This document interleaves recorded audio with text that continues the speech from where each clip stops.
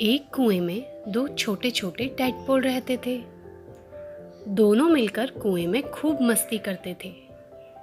अपनी पूंछ हिला हिला कर तैरते और खुश होते थे और बाकी मेढकों को अपने खेल दिखाते थे। एक दिन उनकी मस्ती और शैतानियाँ देखकर एक बूढ़े मेढक ने कहा, जितनी पूंछ हिलानी है, हिला लो। थोड़े दिन बाद तो तुम्हारी ये पूंछ गायब ही हो जाएगी। फिर ये पूछ के करतब नहीं कर पाओगे।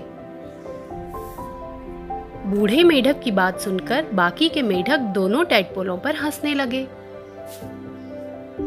दोनों टैटपोल तुरंत भागकर अपनी माँ के पास गए और माँ को बूढ़े मेढक की कही हुई बात बताई और फिर माँ से पूछने लगे, माँ, क्या सचमुच हमारी पूछ गायब हो जाएगी? तब माँ ने कहा हाँ बच्चों, यही प्रकृति का नियम है। जब हम पैदा होते हैं तो हमारी छोटी सी पूंछ होती है। पर समय के साथ साथ जब हम बड़े हो जाते हैं तो ये पूंछ गायब हो जाती है और हमारे पैर निकल आते हैं। अभी तो तुम इस कुएँ के अंदर ही तैरते हो, पर पैर आने के बाद मेढक कुएँ के बाहर भी जा सकते हैं। लंबी लंबी छलांगे मार सकते हैं। और स्वादिष्ट कीड़े मकोड़े भी पकड़ कर खा सकते हैं। माँ की बात सुनकर पहले टैटपोल ने मन ही में सोचा, इससे पहले कि मैं बड़ा हो जाऊँ और मेरी पूछ गायब हो जाए, मैं इस तालाब के खूब सारे चक्कर लगा लेता हूँ और एक से बढ़कर एक करतब करके दिखा देता हूँ। और ऐसा सोचकर वो टैटपोल फिर से कुएँ में तैरने लगा और मस्ती करने लगा।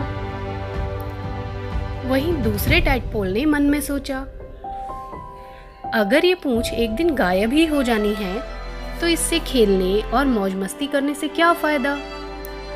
जब मेरे पैर निकलेंगे, तभी मैं लंबी लंबी छलांगे मारूँगा और खूब मस्ती करूँगा। और ये सोचकर दूसरा टैटपोल कुएँ के एक कोने में गुमसुम और उदास सा रहने लगा। धीरे धीरे समय बीता। फिर एक दिन वो भी आया, जब दोनों टैटपोलों के पैर निकले और दोनों टैटपोल मेढक बन गए। दोनों बहुत खुश थे। उन्होंने सोचा कि अब वे कुएँ से निकलकर बगीचे में सैर करने जाएँगे। पहला मेढक कुएँ के किनारे पर पहुँचा और तेज़ी से छलांग लगाकर बाहर निकल गया। वहीं दूसरा मेढक छलांग लगाने की कोशिश करता रहा, पर कूद ही नहीं पाया। उसे ऐसा लगता मानो उसके पैरों में जान ही नहीं। वो घबराया हुआ वापस अपनी माँ के पास पहुँचा और रोते हुए बोला, माँ, मेरे पैर काम क्यों नहीं कर रहे हैं? मेरा भाई तो बड़े आराम से छलांग लगाकर कुएँ से बाहर निकल गया, पर मैं तो कूद ही नहीं पा रहा। तब माँ बोली, बेटा, ये तो तुम्हारी ही वजह से हुआ है। तुमने ये सोचकर कि एक दिन तो पूछ चली ही जाएगी।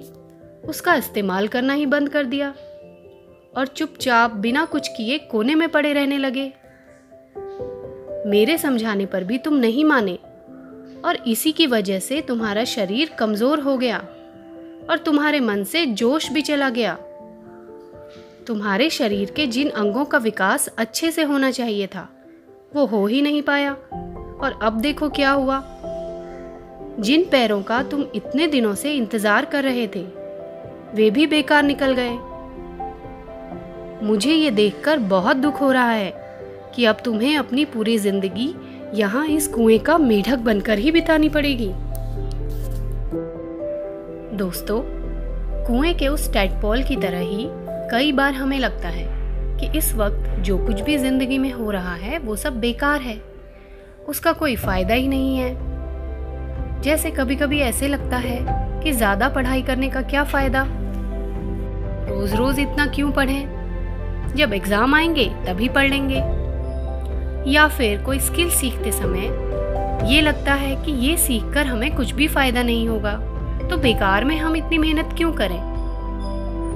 पर प्यारे दोस्तों, कोई भी काम करते हुए, पढ़ते हुए, लिखते हुए हम जो मेहनत करने की आदत डालते हैं अपनी गलतियों से सीखते हैं और प्रॉब्लम्स को सॉल्व करना सीखते हैं। वही आगे चलकर हमारी ज़िंदगी में बहुत काम आती है। हमारी आज की मेहनत ही हमें आने वाले कल के लिए तैयार करती है। जो इंसान मेहनत करना और अपने काम को एंजॉय करना छोड़ देता है, उसके पास बहुत ही लिमिटेड यानी कि कम एबिलिटीज रहती हैं और वो दूसरे टेडपॉल की तरह कुएँ का मेढक ही बनकर रह जाता है। इसलिए साथियों, आज से हर काम को सीखते वक्त उसे इंजॉय करना सीखें। उसे और अच्छे तरीके से करने की कोशिश करें। इसी से आपके स्किल्स और आपकी स्ट्रेंथ डेवलप होगी। और जब फ्यूचर में कुछ कर दिखाने का मौका सामने आएगा, तब आप बहुत ही अच्छे तरीके से वो काम कर पाओगे।